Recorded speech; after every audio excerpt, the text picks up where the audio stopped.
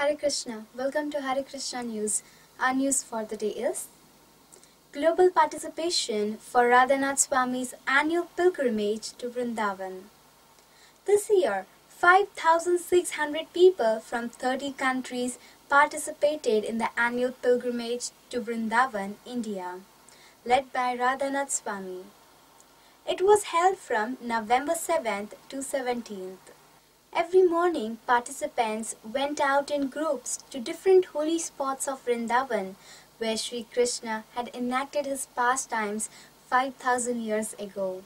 And every evening, they converged at the festival site where Radhanath Swami spoke on the pastimes of Sri Krishna and Sri Chaitanya Mahaprabhu.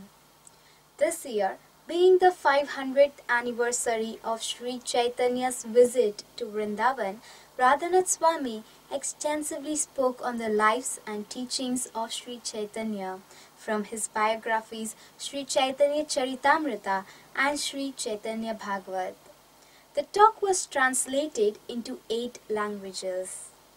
Following in the tradition of Sri Chaitanya Mahaprabhu, the congregational chanting of the holy name of Sri Krishna Sankirtan was done every evening after the talk.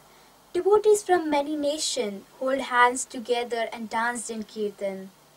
Devotees from United States, China and Russia, from Iran and Saudi Arabia called out the holy names in one voice for the well-being of the entire world.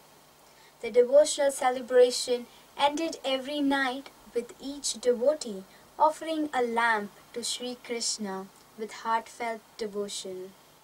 Founder of Bhakti Fest, Sridhar Silberfein, who had been a special guest during the annual pilgrimage for several years, shared his experience. Whenever I am here, I left with tears of joy in my eyes.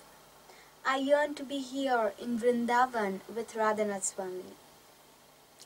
To hear Kartik Vrindavan Yatra 2015 lectures by His Holiness Radhanath Swami, please visit the following link. This ends our news for the day. For more news, keep watching Hare Krishna News.